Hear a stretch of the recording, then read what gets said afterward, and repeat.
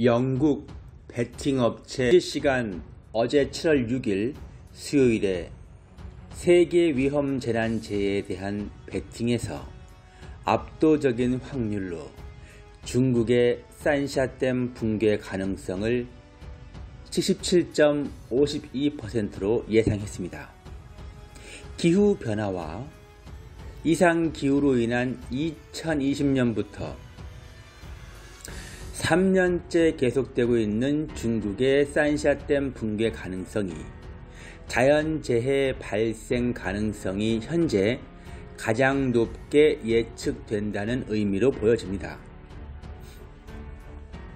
2022년 올해 역시 중국 남부지방에 지난달부터 연일 집중호우가 쏟아지면서 비 피해가 속출하고 있습니다.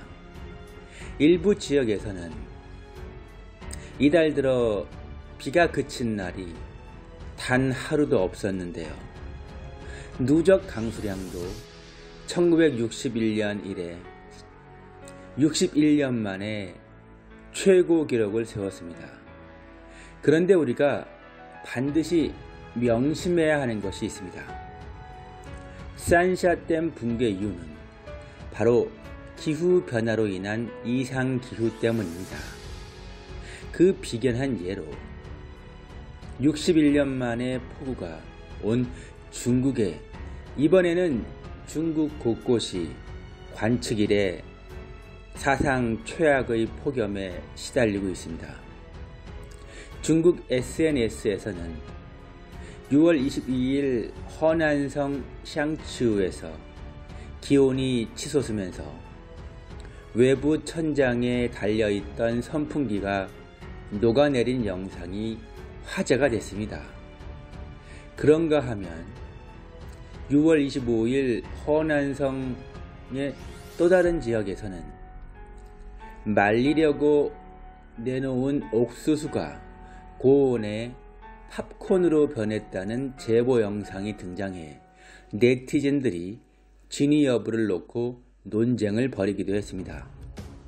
허난, 산시, 깐수, 닝샤, 산둥, 장수, 안후이 등 7개 성들의 6월 평균 기온은 관측 일에 사상 최고를 기록했습니다.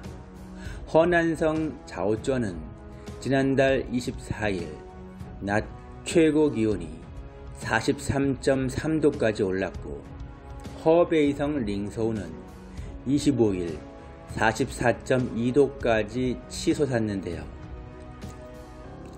중국 기상국에 따르면 6월 중국 전역의 평균 기온은 21.3도로 1961년 이래 6월 기준 최고였습니다. 올여름 5월 11일부터 시작된 폭우로 7월 7일 목요일까지 폭우가 계속되고 있는 중국은 61년 만에 폭우가 왔었는데 이번에는 61년 만에 폭염이 왔다고 합니다. 폭우와 폭염 모두 올해 61년 만이라고 하는데 60이라는 숫자가 의미하는 것은 무엇일까요? 사주에는 오행이 있습니다. 하늘을 의미하는 10개의 천간, 땅을 의미하는 12개의 지지가 존재합니다. 고대로부터 천관과 지지를 교차로 적용하여 60개의 개수를 종류별로 만들어 사람이 태어난 연월 일시에 각각 60번의 순환으로 적용하여 이를 60갑자라고 하며 61번째가 되면 처음으로 돌아왔다고 하여 회갑이라고 부릅니다. 올 이민년은 12년 만의 시작이며 올 2022년 중국에 발생하고 있는 61년 만의 폭우와 61년 만의 폭염은 60갑자를 돌아서 다시 시작되는 파괴의 의미, 의미일 수 있습니다. 성경 속의 창세기를 보면 인류 창조 이후 인류의 선조들이 나날이 포악해지므로 하나님은 홍수를 내려서 인류를 멸망시키려 하였으며 다만 의로운 사람, 즉 하나님의 길을 따르는 사람인 노아와 그 가족만이 심판에서 면하게 되었다는 내용이 나옵니다. 노아는 하나님의 명령에 따라 배를 만들어서 홍수를 피하였습니다. 모든 사람들이 타락한 생활에 빠져 있어 하나님이 홍수로 심판하려 할 때 홀로 바르게 살던 노아는 하나님의 특별한 계시로 홍수가 올 것을 미리 알게 된 것입니다.